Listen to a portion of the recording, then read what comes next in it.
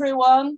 I hope you are all well. Thank you for being here today. I am Lorena Hakak, and together with Solange Gonçalves, we are two of the coordinators of the study group on family and gender economics, GEFAM, and we are going to mediate this webinar.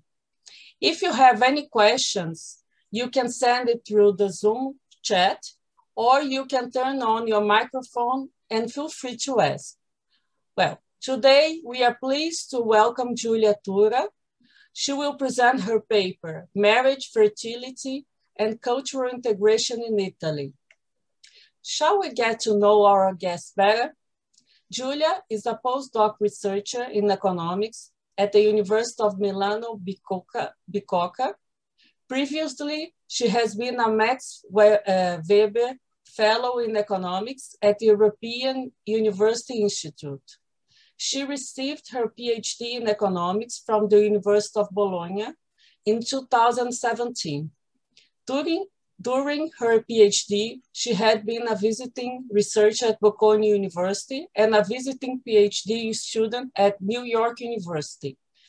She is an applied microeconomist working primarily in labor economics. She has a particular interest in the economics of family and culture, with an emphasis of the dynamics of integration of immigrant minorities. Hi, Giulia. Hi. Thank you so much for being here. Thank you very much for inviting me. It's a, it's a pleasure. Um, can I start sharing? Yes, you can begin whenever you Okay. Feel free. Right. So um, I think it's normal. Please interrupt me whenever you want with uh, with questions during the talk. Um, so today I'm going to present this project uh, about uh, marriage, fertility, and the integration of um, immigrants, immigrants, minorities in the context of Italy and uh, it's a joint work with uh, Alberto Bisin from uh, New York University. Um, okay. So, okay. So um, recent migration flows, and I mean that's a general statement, but recent migration flows into Western countries unveil new political and socioeconomic concerns. So anti-immigrant sentiments and the large support for restrictive immigration policies uh, seems to be motivated in part by labor and welfare considerations. So there is this idea that immigrants come here into host countries to take native jobs of, or native uh, welfare. But to a large extent, this tension seems to be motivated by the perceived cultural externalities that immigration imposes on natives in the integration process. So a successful cultural integration of minorities is a crucial issue for the development of host society. However, uh, integration is an equilibrium phenomenon. So it is both the result of a demand and a supply of integration. So on the demand side, we think that immigrants trade off uh, economic incentive to integrate, for example, in the labor market, with particular preferences to maintain their own cultural identity.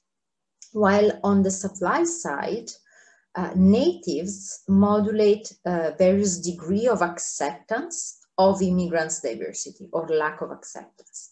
So while it seems very natural to think about integration as an equilibrium process as a combination of this uh, demand and supply dimension, from an empirical point of view, it's really difficult to identify the importance of each of these components and to understand how these different components potentially affect uh, policies that we put in place to, to facilitate um, integration.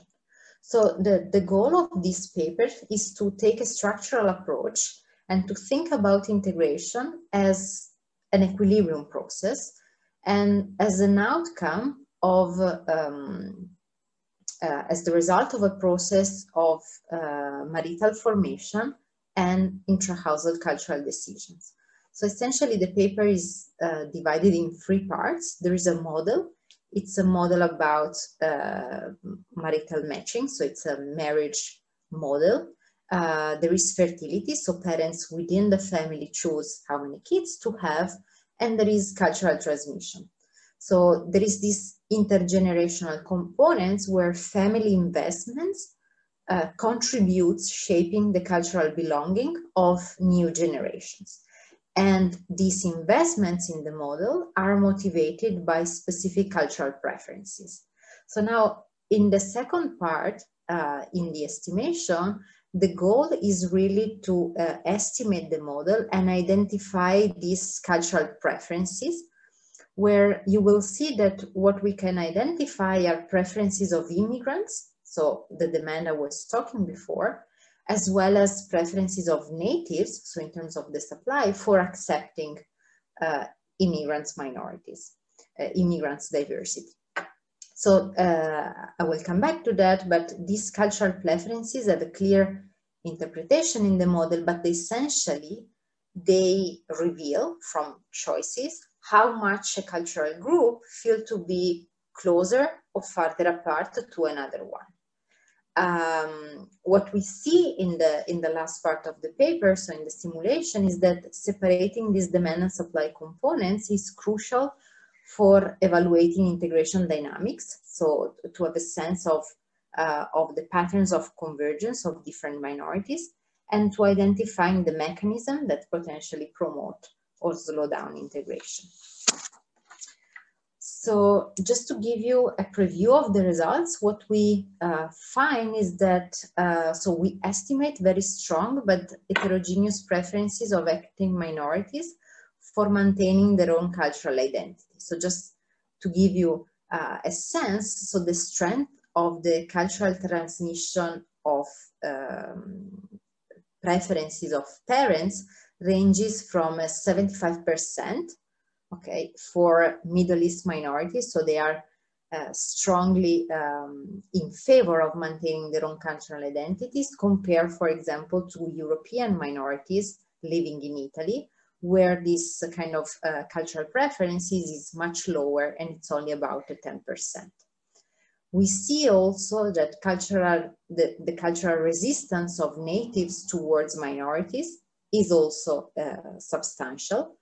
And despite these strong preferences for maintaining their cultural identity, all minorities um, are stimulated to converge to the Italian majority. So they are all going to speak Italian at home um, in the very long run.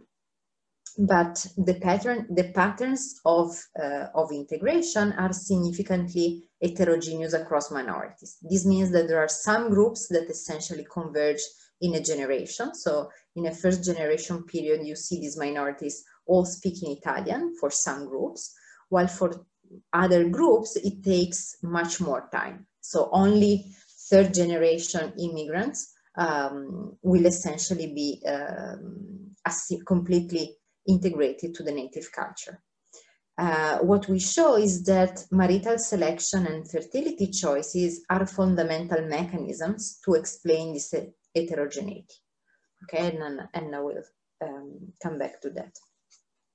So um, in terms of the literature, so from a methodological point of view, this paper combines uh, the literature on marital matching and intra-household decisions models with um, a large literature on cultural transmission.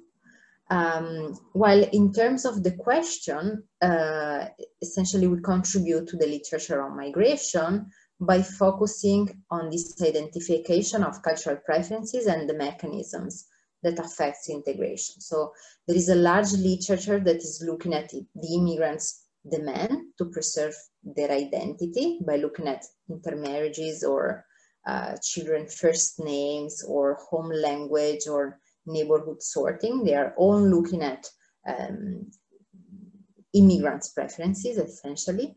And then there is a second part of the literature that is looking at natives, uh, native sentiments towards immigrant, either by looking at the economic roots or the political reactions to the presence of immigration. So we try to combine this, uh, these two literature together. so, so the rest of the talk, in the rest of the talk, I will uh, present the, the theoretical model and the implications of the model. I will move to the econometric framework. So I will be brief. I will try to describe, um, you know, the structural model, some of the assumption and, and uh, the most important part of the identification. I will move to the results and the dynamics part and, uh, and I will conclude with, uh, with a brief discussion. So any question? No, okay. So, okay, so a sketch of the model. I mean, as I said, this is a model of the marriage market. Uh, it's a marital matching model with intra-household decisions. So it's a large and frictionless marriage market. There are men and women utilities transferable across spouses, and um, men and women are heterogeneous along cultural lines. So for simplicity in, in, in, in the model, we consider that there are only two cultural traits. So there are natives, uh, N, and immigrants, I. So there are only two groups. Of course, we allow in the, in the estimation to have more um, to have different uh, immigrants group. But for now, there are only these two groups. So in the, in the marriage market, potentially family types are heterogeneous. So there are homogamous families, so families where both spouses share the same culture, while there are also heterogamous families, which are families where spouses do not share the same culture, so they have different cultural traits. And um, for what concerns intra-household choices, so any interaction is cooperative within marriage and we allow for non-cooperation upon divorce. So, okay, so this is somehow the, the, the timing. So the idea is that agents enter into the marriage market at the beginning and choose who they want to marry. So essentially they choose a spouse with a similar cultural background or not, and they choose forming expectations on their marital utility. Okay, so an allocation mu t will be formed um, as an equilibrium in the marriage market. Um, these marital utilities, so they form expectation on marital utilities, and these marital utilities are the sum of two components a systematic component that is related to uh, fertility, divorce, and socialization, so whatever happens within the family, and an idiosyncratic component that captures additional returns from marriage. So there are essentially two, two um, random shocks that are pref individual uh, preferences for a type of spouse. Um, so given the allocation in the marriage, couples are formed. And within a marriage, uh, spouses choose fertility, so how many kids to have. Then uh, they update their knowledge on the quality of their marital union. So they essentially observe this uh, theta, which is a, a random shock, a love shock, and according to theta, they decide whether to remain married or not. So this theta is unknown at the moment of marriage, and it's only known at the moment of divorce. So essentially, the idea is that uh, negative surprises about love, so couples that are not uh, loving each other anymore, uh, so negative value of theta potentially trigger divorce. And finally, so conditional on the couples and conditional on the divorce status, parents choose the socialization. Okay, so the effort tau. So, um, Giulia. Yeah. Uh, can I ask you a question? Sure.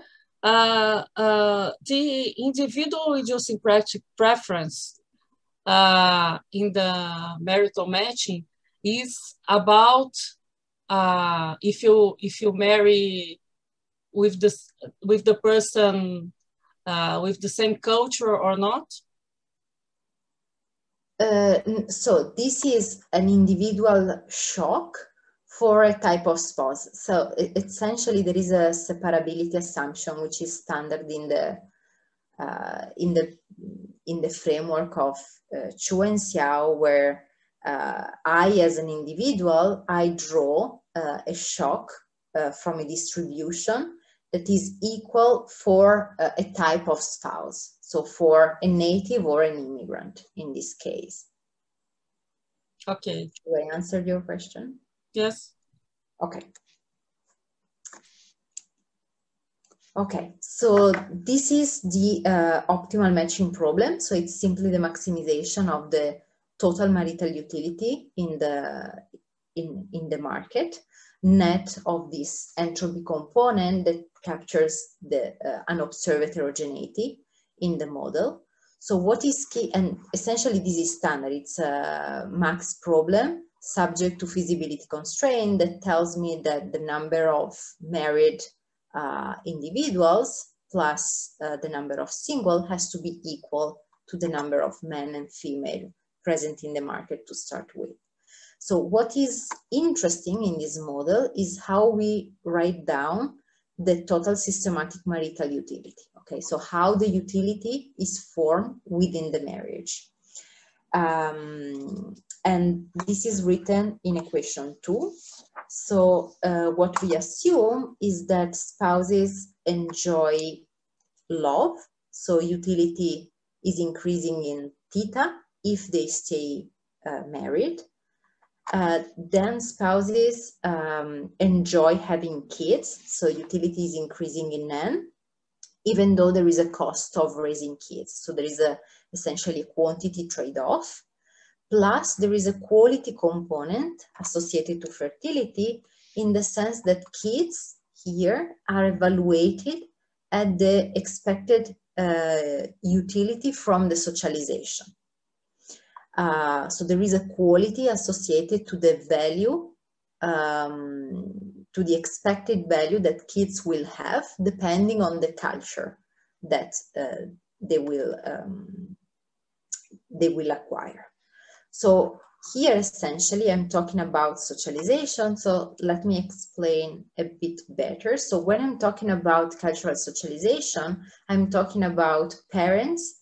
Uh, parents, I'm saying that parents have preferences uh, over the culture of children. So we assume that parents care about socializing their children, but uh, they are biased toward their own culture. So in notation, this means that the value that the parents obtains when socializing a child to his or her own cultural identity is strictly greater, is greater than the value that the same parents obtains if the child acquire a specific different uh, cultural ethnic identity. So the difference between these two values is assumed to be strictly greater than zero.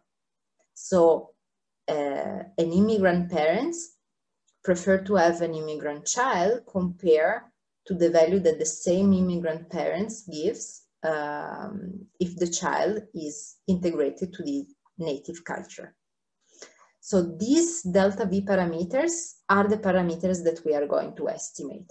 And they tell us essentially, they gives us a sense of how much groups uh, feel to be closer or farther apart between each other.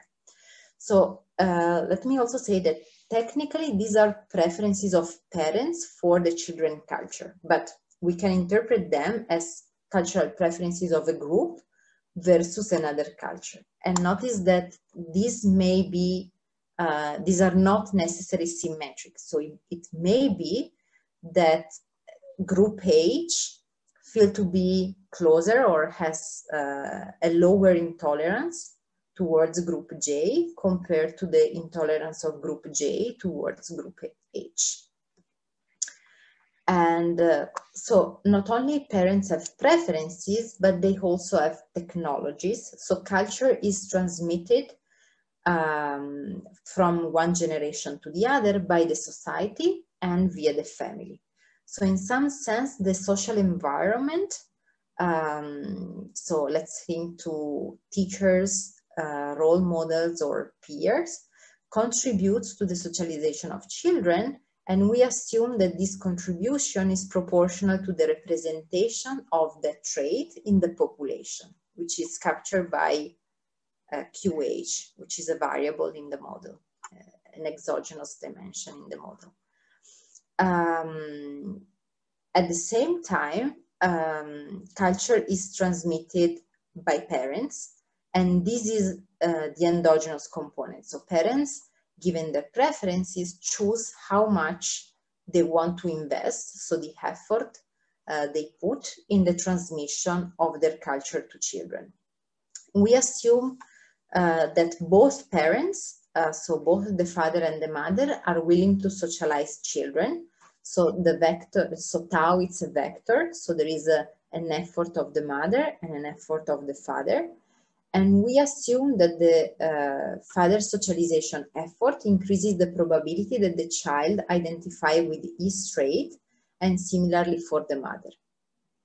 So essentially the fathers contribute to the socialization of the children in transmitting his own culture and, and a similar reason for the mother.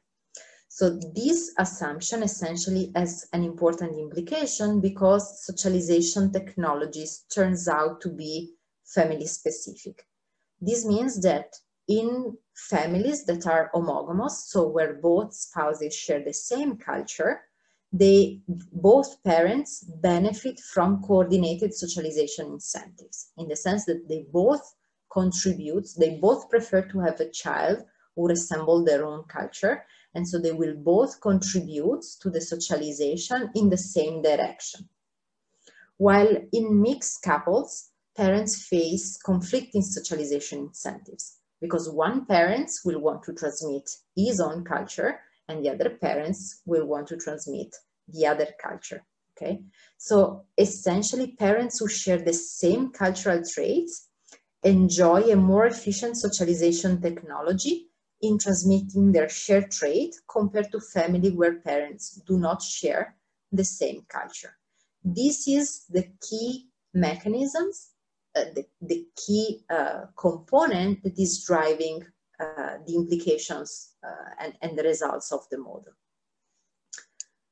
Okay, so Giulia, yes? just just one thing, maybe it's a tiny thing, a detail. Uh, can you put in the, the sure. yes the D letter in the probability social in the socialization probability. This D letter it means what? It's uh, it's about divorce. So uh, how, and how is related? I couldn't get it. Yeah, so I was quick. Um, so essentially, what we assume is that when couples are um, uh, there is a difference in socialization between families uh, who are married and um, and families who are divorced. In the case of okay. divorce, okay. we assume that only mother keeps the custody of children, and so they are only mothers transmit their own culture to children in case of divorce. So essentially, okay. this probability of socialization are driven by uh, by divorce. Okay, thank you. Thank you.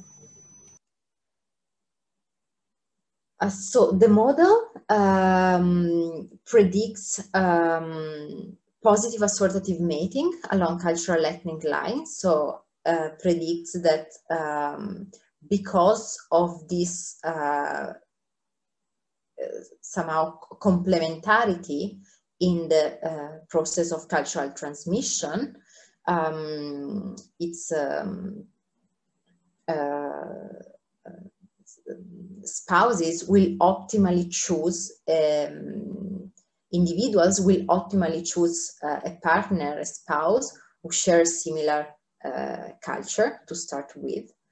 Uh, the model predicts that there is a larger uh, fertility rates in homogamous families because the quality of the socialization is much higher.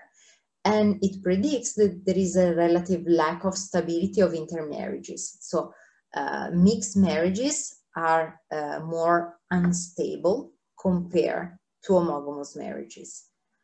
And uh, all these predictions that are in line with stylized fact that we observe in the data essentially derive from this systematic difference in socialization technologies between homogamous and heterogamous families. So uh, I will be quick. Essentially, I will not go through all the descriptives. Uh, maybe I will come back to that, but uh, all these predictions are uh, met in the data. So we observe in the data that there is strong uh, sorting, okay, strong preferences for mating a spouse who has the same culture, that fertility rates in homogamous families is always greater compared to the one that we observe in heterogamous families, and that there is much more um, higher separation rate in, in intermarriages compared to homogamous uh, marriages. So now to estimate the model, so the goal here of the estimation is to estimate parameters that has represent um, cost functions parameters and other, but essentially to estimate the delta V, so the cultural intolerance parameters. So to do so, we extend the model to introduce, so we, we introduce variation and we extend the model along two lines. So we assume that there are multiple um, cultural ethnic traits. So we assume that there are six different minorities. So now there are uh, European, so EU15, other European, North Africa, Middle East, Sub-Saharan Africa, East Asia, and Latin America. So these are the six minorities that we consider, and this classification reflects the uh, relative cultural distance of countries with respect to Italy. So just to give you um, an idea. So essentially we divide the world in these six uh, different uh, blocks and this um, classification somehow resemble what we observe uh, in terms of genetic distance of countries with respect to Italy or uh, ethno-linguistic distance of countries with respect to Italy.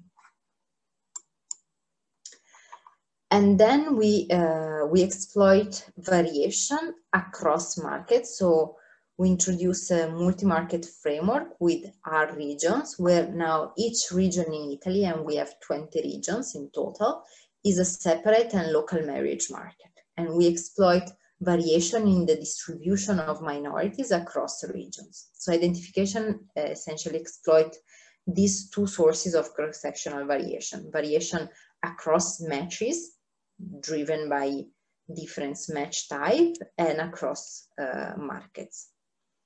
So in terms of the data, we have uh, very rich administrative data uh, provided by the um, ADELE lab, which is the elementary um, data laboratory uh, within ISTAT.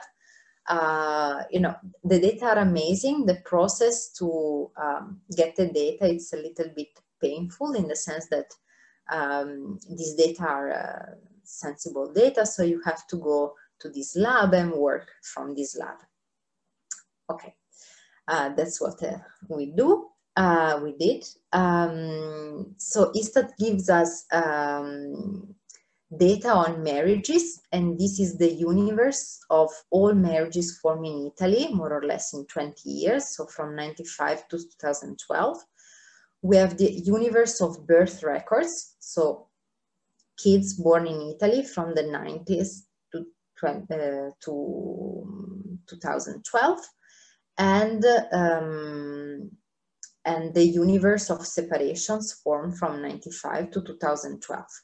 So these are individual level data, so it was possible to create a key um, that uniquely identified uh, families. And so we were able to create a unique data set by matching marriages, birth, and separation records.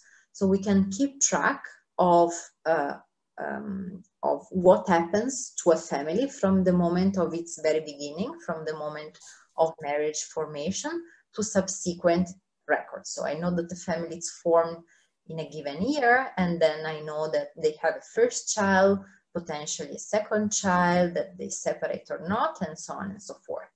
So the total is about uh, 4 million observation, and they account for more or less more than 90% of the universe of marriages that uh, we observe.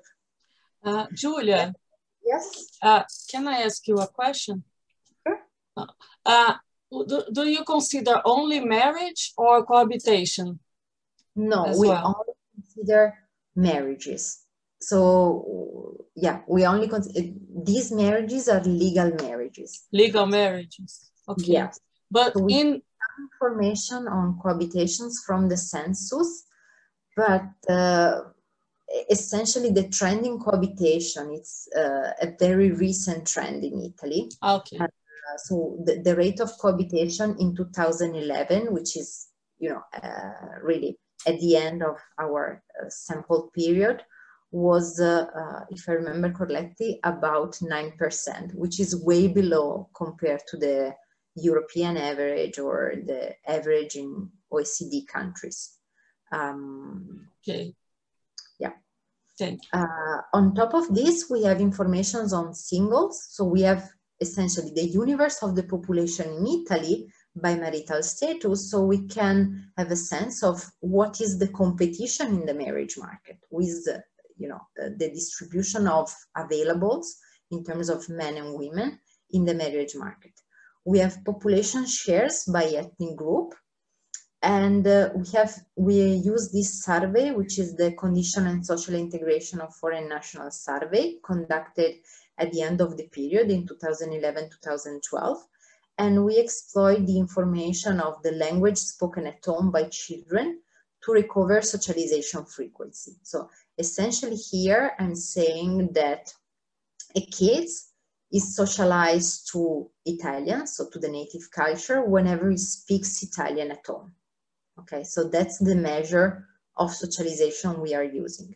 Um, we, you know, uh, I, ha I, have a slide about this, so I prefer to, to move on. Uh, but uh, if you're interested, we, we can come back to that. So that's probably a little bit a, a boring slide. So it's a slide about all the assumption that we make essentially to translate our model uh, to the estimation. So um, socialization is proxied by language. So we restrict essentially the number of potential socialization probabilities given the fact that we are talking about language. We introduce a parameterization for socialization and fertility cost. We introduce uh, uh, parameters for segregation bias, uh, where we assume that um, essentially the, the influence of a social environment is not one-to-one uh, with, with its representation in the society, but it's multiplied by a parameter rho. Okay, so perfect one-to-one -one representation means rho equal to one. For any rho above one means that there is some, some degree of segregation of minorities. We introduce outside options for, um, for remaining singles, which varies across ethnic groups and across um, and, and for different matches. Um, we assume that theta follows, theta is the love component for divorce. It follows a logistic distribution. And then we assume a specific um, type one extreme value distribution for um, the unobserved heterogeneity at the moment of the marriage, which gives us a very nice um, identification equation for the gains to marriage. Okay, so essentially all this assumption provides us uh, a closed form solution for the moments we are interested in. So uh, we estimate the model via a method of moments estimation. So we simply uh, minimize the distance between the vector of empirical moments and the theoretical counterpart, which is a function of the parameters uh, beta, which is a, a, vector of all the parameters that we have in the model. So we have a total, uh, so the vector of empirical moments is huge. So we have more than 2000 moments, um, accounting for gains to marriage, fertility rates, separation rates, and socialization probabilities for all the different type of match and for all the regions that we have in Italy, so 20 regions. Okay. So um, the key assumptions behind the model are that essentially we we set the value of uh, having a kids equal to uh, the culture of the parents uh, equal to V, and this is constant for all the groups, and it's normalized to 100. And that's essentially um, a normalization. Um, the delta Vij, so the cultural intolerance parameters, are specific to uh, an HJ, but they are constant across regions. The outside options, again, are constant across regions, but they are allowed to vary um, across groups and across family types. Uh, all other parameters, so uh, fertility and socialization costs, are independent across ethnic groups and regions. So let me just point out what is the ingredient or the, the twist for the identification of demand versus supply. So we use homogamous families, so families of both uh, immigrants to identify demand.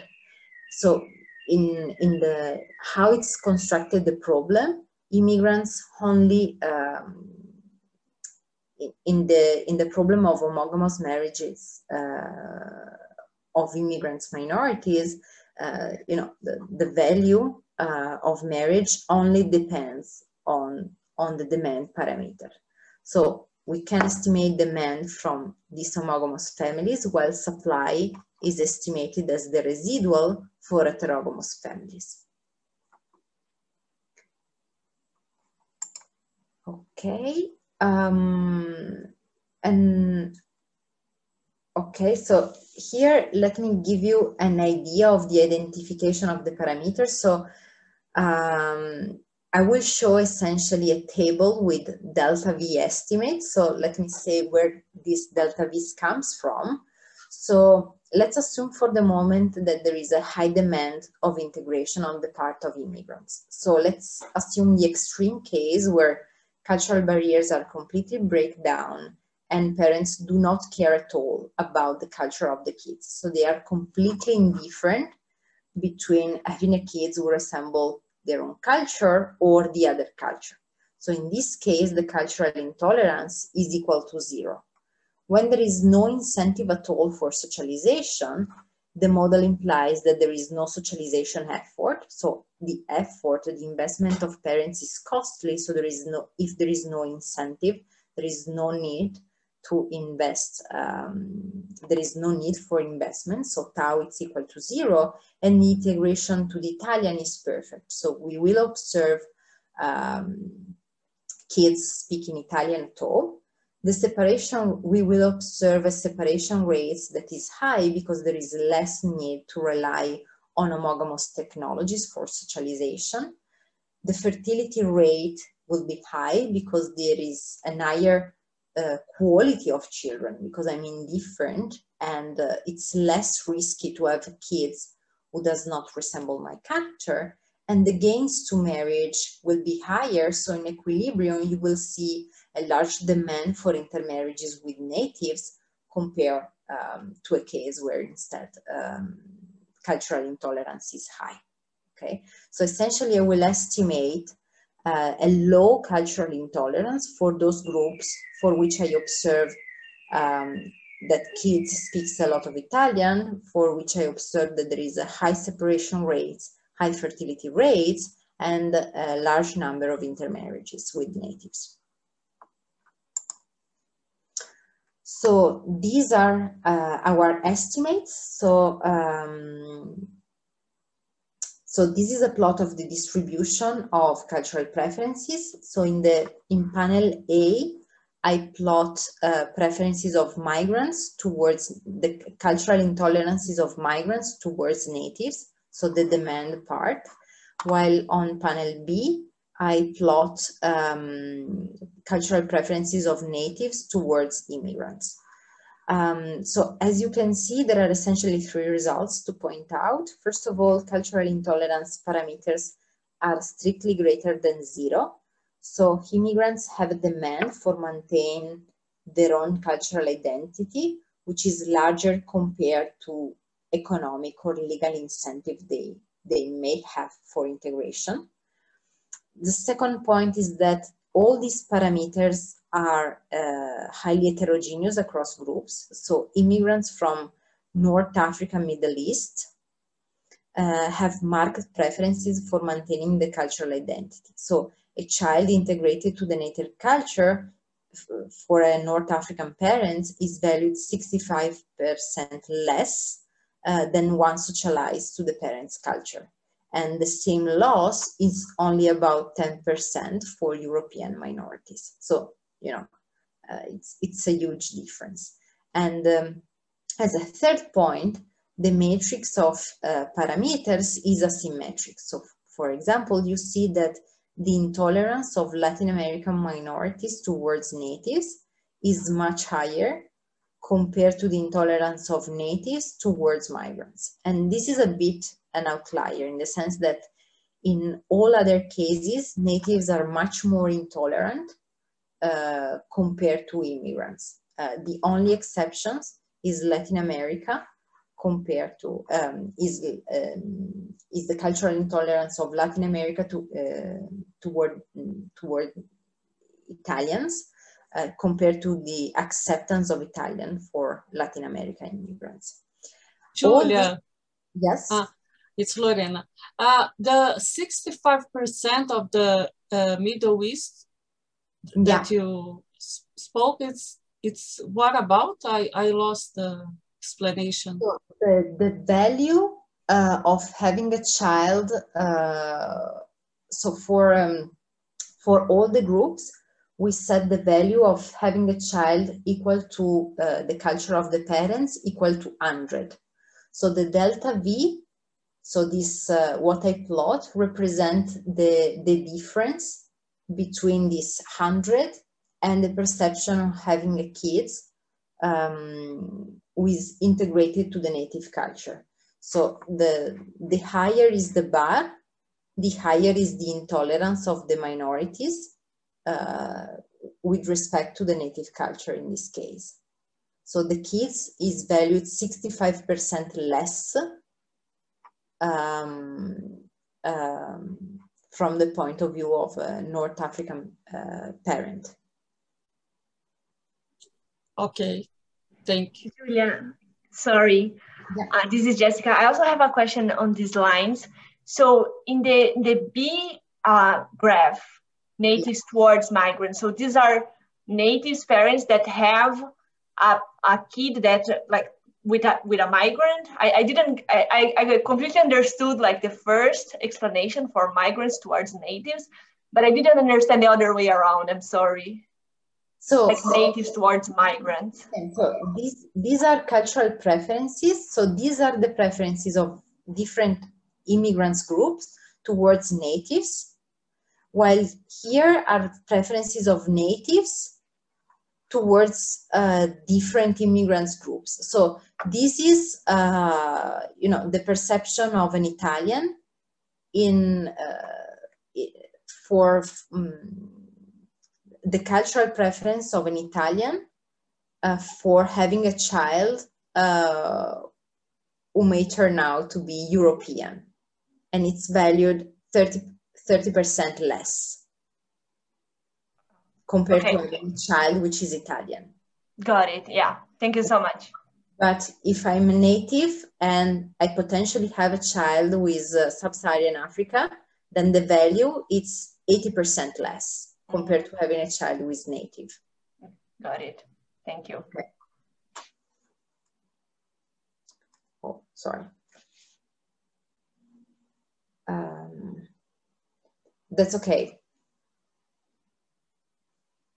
Okay, so these are uh, our estimates. So what we did then is to simulate the model over time and look at the long-term dynamics of, um, of the distribution of traits in the population.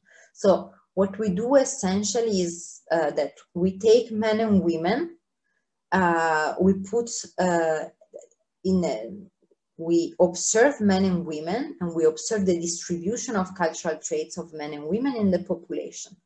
We take all these men and women and we put them in the marriage market and according to our preferences, we marry them and then they have kids, they separate or not, and then they socialize their children.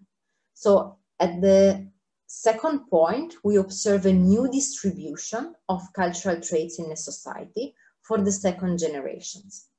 And then we take this second generation, we wait until they are adult, we put them in the marriage market according to the new distribution of traits. Uh, they marry, they have kids, and these new kids are socialized. And then we observe the distribution of third generations and so on, okay? So essentially we take our model and we uh, use this, um, we exploit the fact that we have a model that tells us what is uh, the um, intergenerational uh, transmission of culture. Okay, so what you see in this um, in this plot.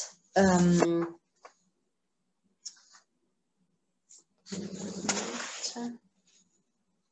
okay, so what you see in this plot is that on the uh, vertical axis, you have the share of um, the share of all the group that is normalized to one at t0, just for, you know, um, reading better the, the table. And on the horizontal line, inside, you see the time dimension.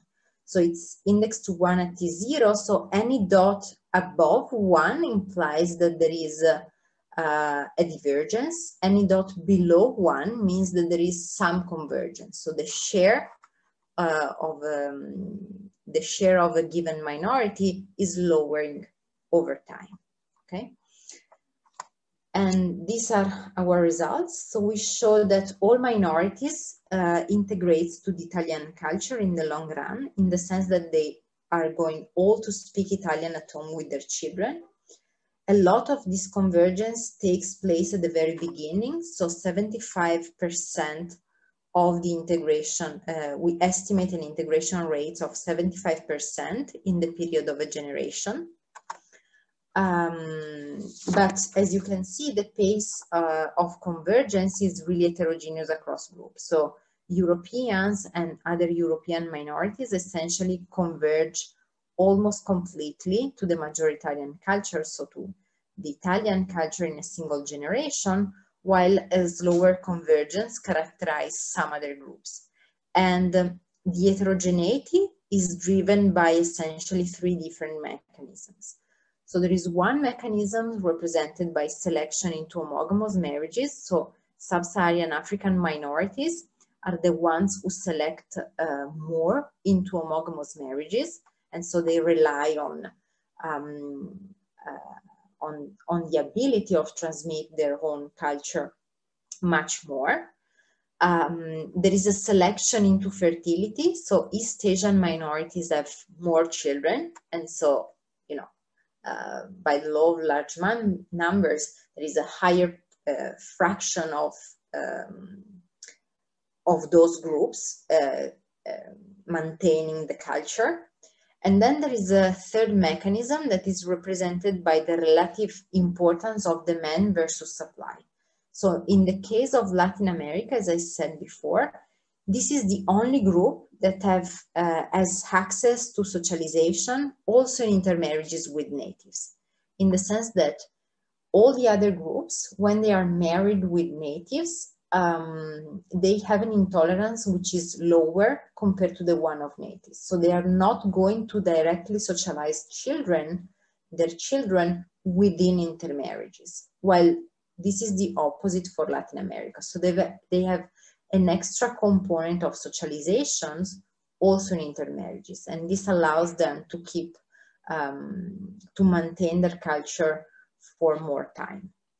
So to dig deeper into the mechanisms uh, driving integration, we propose two counterfactual where first we shock supply. So we change the delta V for natives, and then we change the delta V for immigrants.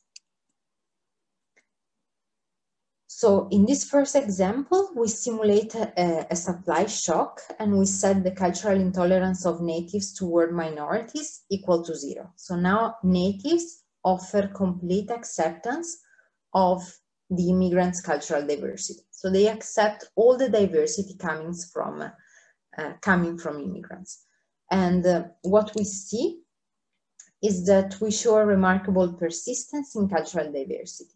So essentially there is no integration of second generation immigrants and the fraction of the population composed of non-integrated immigrants increased by 15%.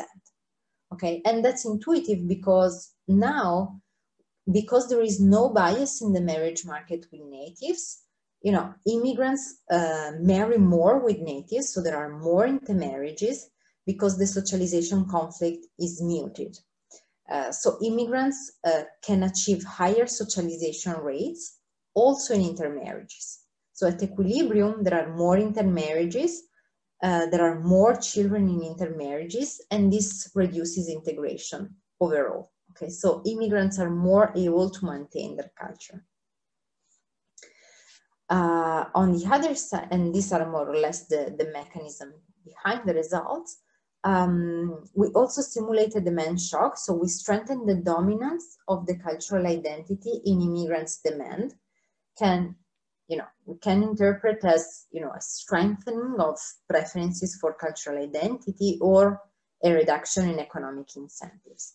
And what we see in this case is that there is a, a larger, um, you know, a stronger convergence that accelerates by 10 percentage point compared to the baseline. So in this case, the stronger attachment of immigrants to their identity makes marriage riskier and much more uh, and and a costly uh, costlier investment. So the utility that they receive if they fail to socialize children is significantly lower. So the more uh, I'm um, I'm intolerant uh, you know, in accepting a kid was a different identity to compare to my own, the more riskier is to invest in a kid. So the value of marriage essentially reduces. So in this context, uh, you know, the, there are fewer children, but there are also fewer homogamous and also heterogamous marriages. So essentially there is a, an effect of compression in the marriage market and while um, the probability that the child with an immigrant parent is integrated to the Italian culture is lower, so the socialization rates of minorities is larger, but the fraction of the population of these immigrants turns out to be lower compared to the one of natives. Okay. Um, I don't know if I'm running out of time. So then we have some uh, counterfactual where we simply assume that there are some inflows of second generations coming in. And we observe that different inflows, inflows uh, of second generation immigrants have uh, different uh, responses in terms of, uh, in terms of integration uh, for the different groups. Um, let me move to the summary and um, um, yeah. Uh, uh, Giulia, if you yes. want to to to uh, show the counterfactual, feel free, or if you prefer to. Feel free. I, I, I was just uh, yeah, want just to conclude here to point okay, okay. This result. So uh, overall, what we, uh, we simulate a substantial heterogeneity in integration rates and a 75% integration in a, in a generation period. Um, we observe that there are more accepting the more accepting preferences of natives leads to a slower cultural integration and the reduction in economic incentive increase integration rates. Uh, let me focus here on the last bullet point. So we also try to evaluate um, a policy that uh, segregation policies of immigrants in the society, where this segregation essentially has the effect of um, increasing the ethnic network of minorities. When we have uh, more segregation of immigrants in the society, we show that there is an improvement in the social welfare. Um, with both positive uh, contemporaneous but also dynamic social welfare effect. So uh, we think that this, uh, I'm not entering into the details, but essentially this conclusion may represent a starting point for a debate about uh, residential location, but also school choice and religious freedom of immigrants with important implication, you know, as society we become, becomes more um, ethnically uh, heterogeneous than they used to be in the past. So just to conclude, these papers um, offer a new perspective to interpret cultural integration as an equilibrium outcome. We show how the dynamics of integration respond to variation both in demand, but also in the supply, so in the natives' acceptance of immigrants' diversity. Um, this paper provides novel implications for the evaluation of different immigration policies and potentially in the future, I think it's, uh, it will be particularly interesting to explore how integration outcome um, change due to institutional changes or changes in economic conditions. Um, yeah, and, and that's it. Okay. Thank you, Giulia. Okay. Can I see some of you? Okay. Okay. Thank you very much, Giulia. Uh, now we can open for questions.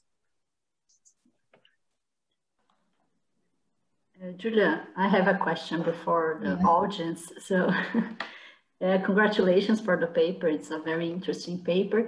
I have a question about if it could be possible to bring to our model some uh, heterogeneity on education of parents. So I don't know if uh, the the parameter of preference that's about natives and migrants are uh, if it could be, it would be necessary to have this other source of uh, heterogeneity and if you have this information in our database. So if parents are high or low education, I don't know, with this kind of uh, no, additional source. Absolutely.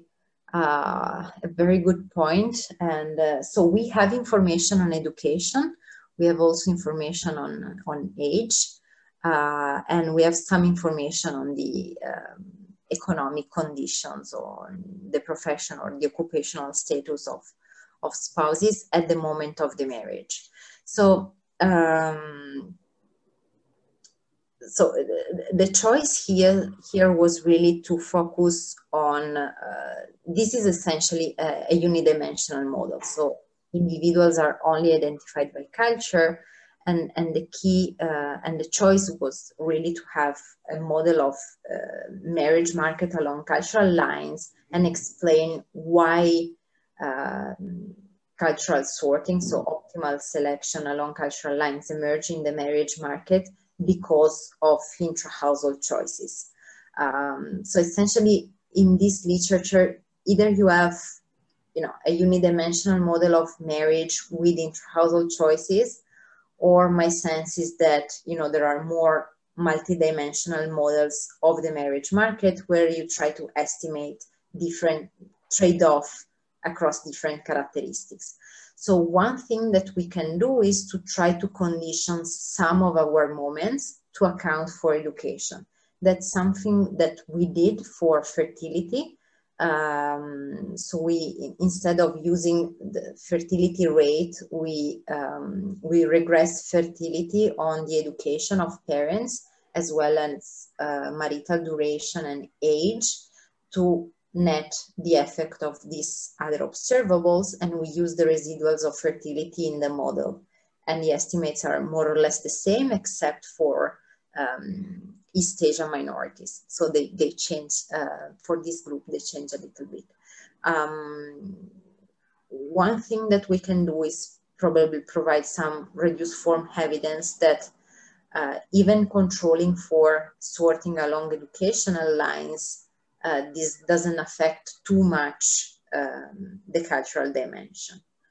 Um, let me say that I was working in parallel or, you know, in, in a different project, which is exactly about that, uh, that is trying to estimate trade-off uh, between um, culture, so cultural preferences, education, age, and also um, legal status incentives. So, yeah. Great. But, but it's, uh, yeah, a good point. Thank you. We have a question from Paula Miranda Ribeiro. Paula, if you, you can turn on your microphone, feel free. Obrigada, Solange. Thank you. É, Giulia, thank you for your presentation. I'm Paula Miranda Ribeiro. I'm from CEDEPLAR, Universidade Federal de Minas Gerais. Uh, it's very, I mean, I really enjoyed your presentation. And my question is, does the gender of the native parent matters? Because my, I, I would say that if the mother is the one that's the foreigner, she's most likely to keep her culture with their children. Whereas if it's the father, you know, mothers spend more time with children. So it has to do with language as well. If the mother is the one that's the foreigner at home, she's more likely to speak her own her mother language with her children, whereas the father won't because he's away from home. So, I mean, th this is my question. Do you think, or do you have the data for, or, or results about that? Thank uh, you. So, no. So, essentially, what we are estimating are, uh, and true, it's very interesting. So, uh, let me reply in two steps. So um, for the sake of this model, essentially, no, we estimate these cultural preferences that does not depend on the gender. So the intolerance of, you know, uh, an East Asian minorities towards the natives is the same, whether the, you know, the minority, the immigrant I'm talking about is a man or a female. It's true that what we observe in the data in marriage is that there is, uh, you know, the, the, distribution of marriages is not symmetric by gender. So there are many more Italian men marrying a foreign woman compared to the number of Italian women marrying a foreign man. Okay, but we do not keep track of these gender differences.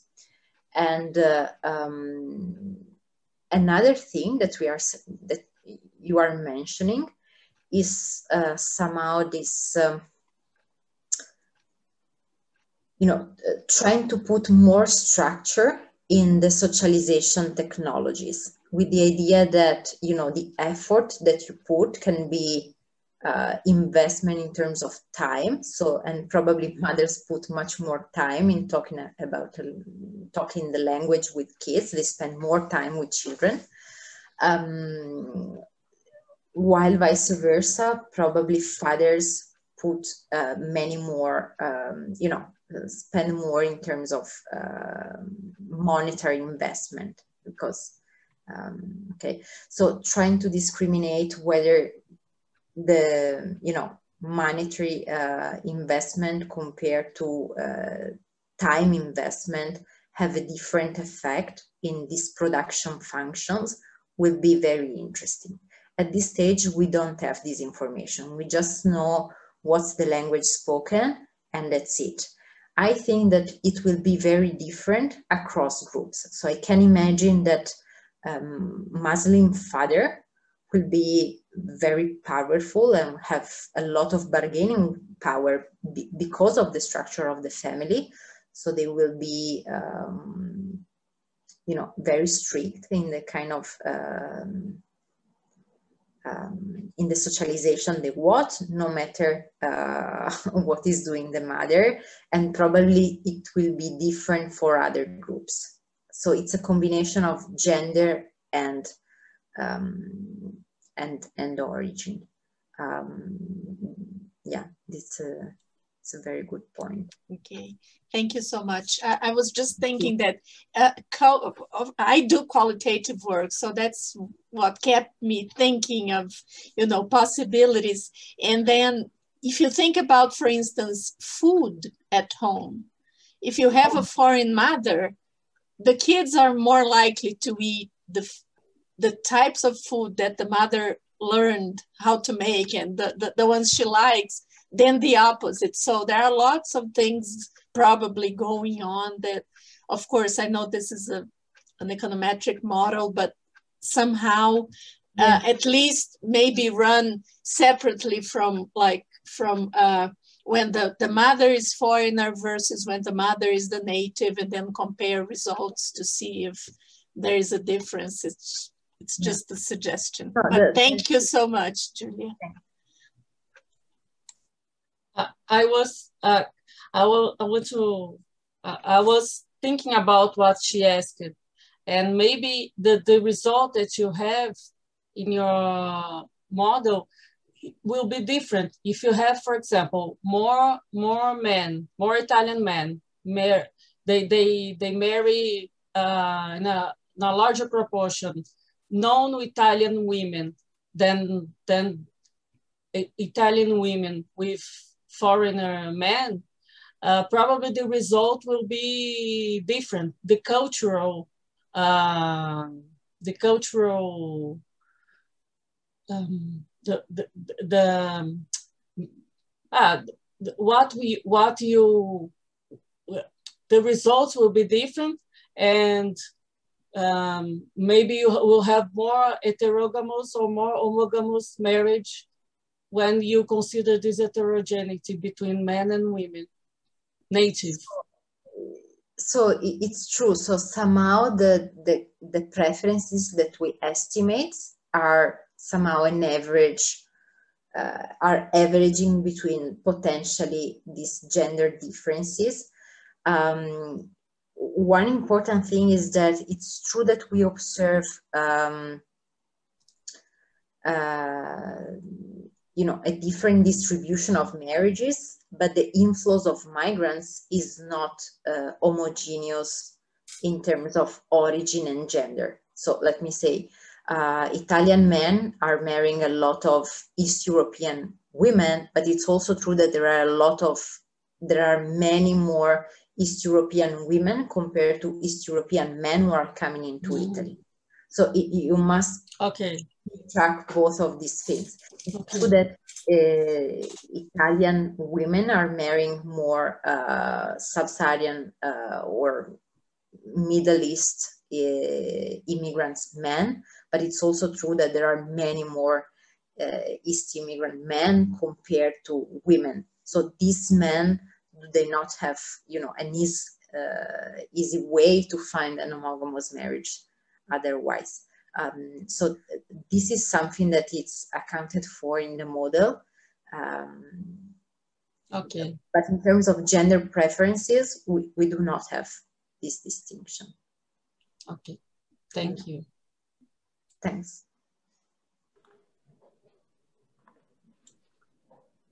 Anna, do you have a question? Anna and Paula, again? Yes.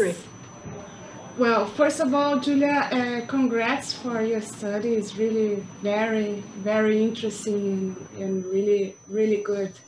Uh, I was wondering because my area is uh, more, it's not that matching, it's more uh, intra-household allocation.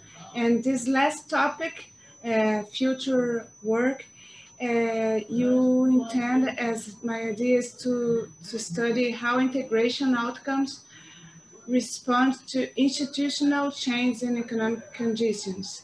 It's like uh, how uh, the, the so-called distribution factors uh, uh, influences, how is the effect of distributional factors uh, mm, influences the, the, the bargain power of this household, of the couples, you know, like who mm. has uh, more bargain power, the native or the, or the immigrant?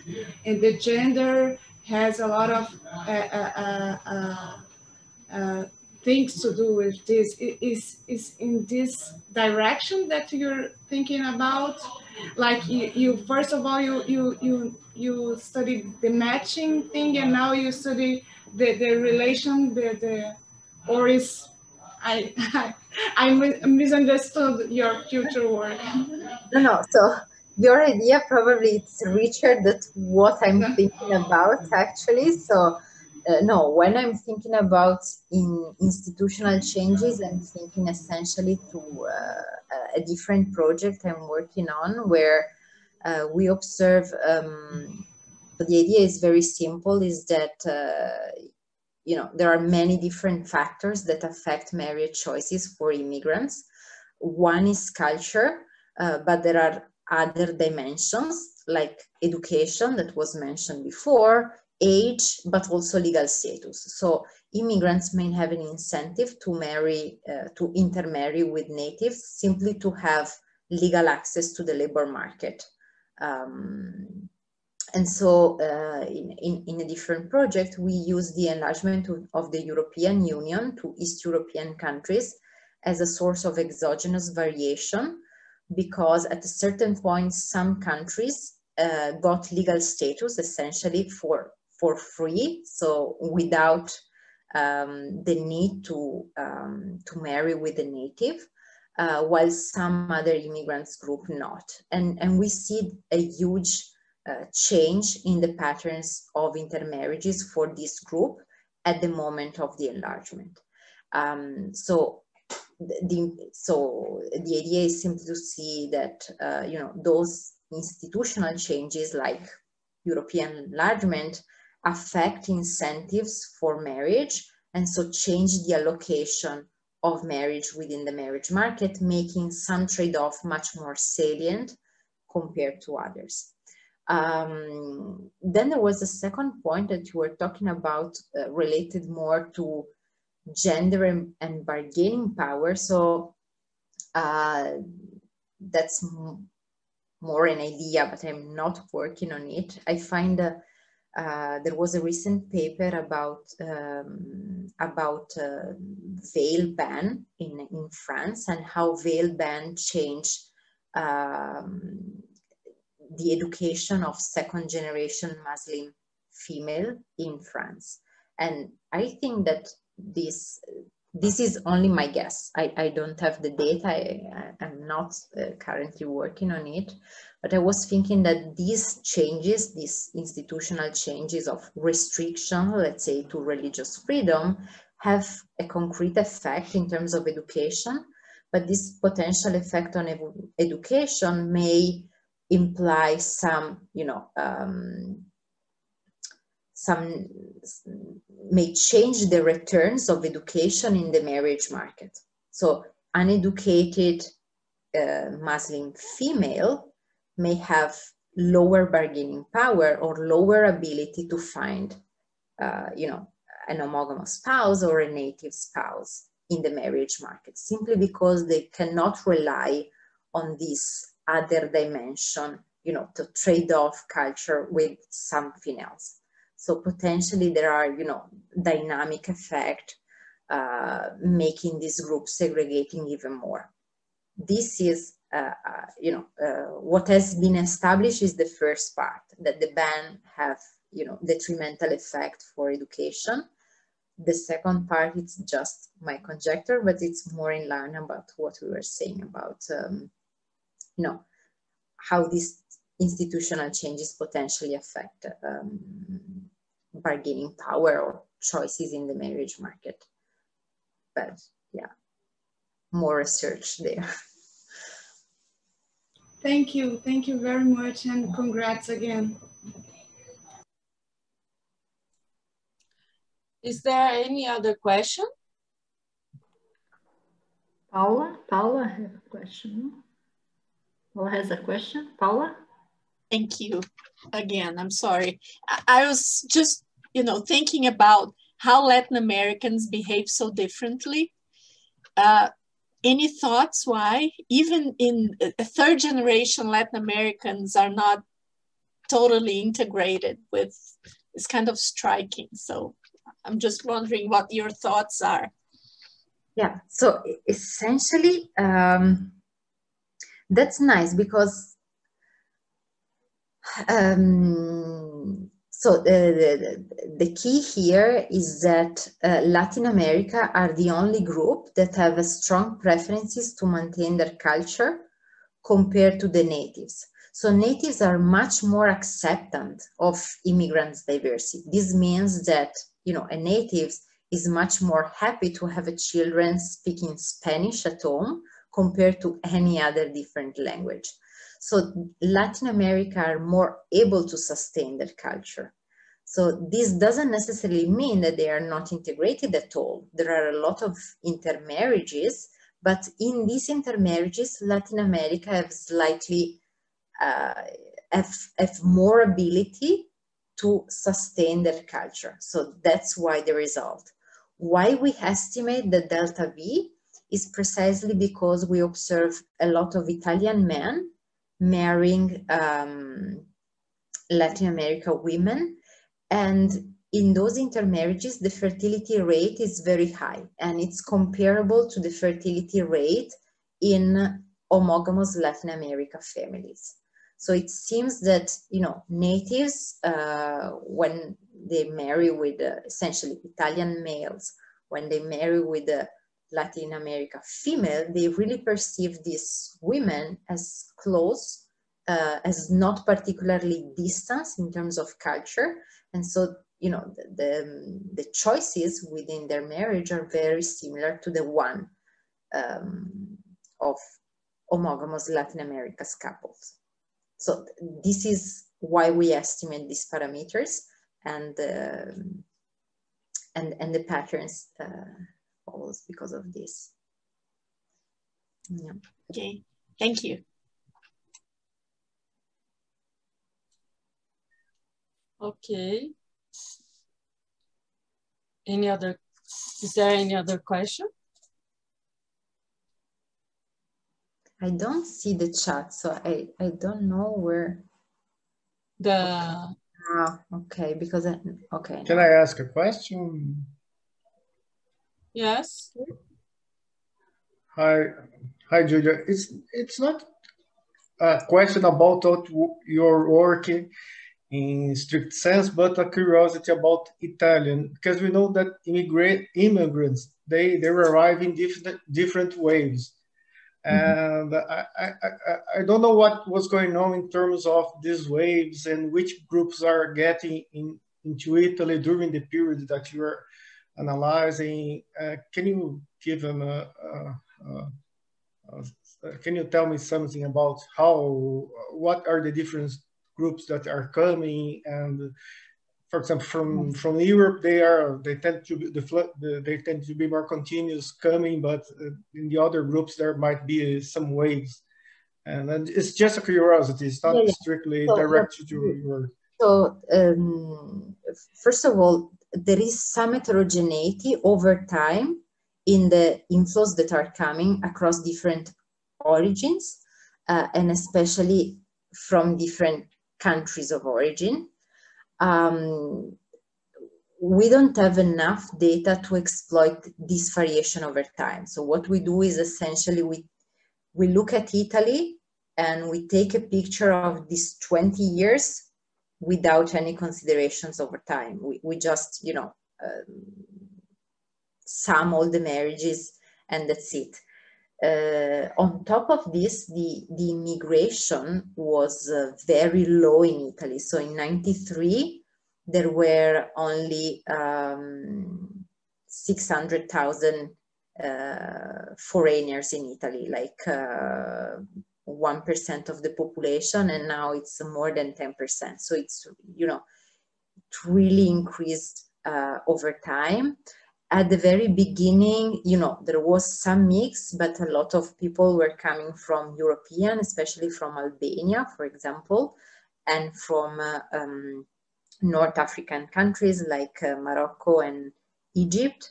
Um, then later on, we have more influx for uh, from other European countries, uh, Asia, and then uh, Middle East and Sub-Saharan Africa.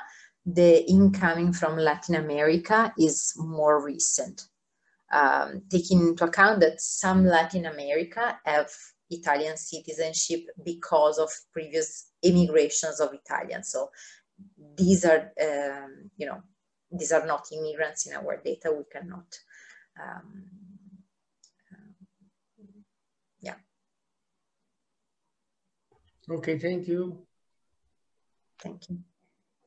Yeah, it's true that um, I can put a, a graph about this.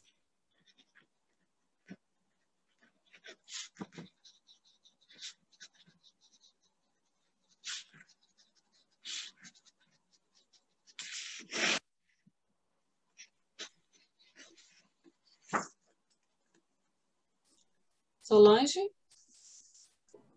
Any? Is no, there, no, no? I can, Okay. can finish. Okay. Thank you, Giulia, again. Yes. Congratulations. Yeah. Thank it was you. a pleasure. Yes. Yes, it was a pleasure. Thank you for your presentation. It was very nice. Thank you for inviting me. I mean, it was a, a surprise and an honor, honestly. And um, thank you for the question. I received very, very interesting question. Uh, some are really interesting thoughts uh, to or points to think about um, more. So thank you very much. And um, we will remain in contact for, for next week. Okay. Okay. The the work never ends. Yeah. Exactly. Yes. Okay. Thank you, everyone. See you all on April 23rd when we will see, receive Maria Joaquim from PUC Rio and GEFAM. Bye-bye. See you on, uh, on April 23rd.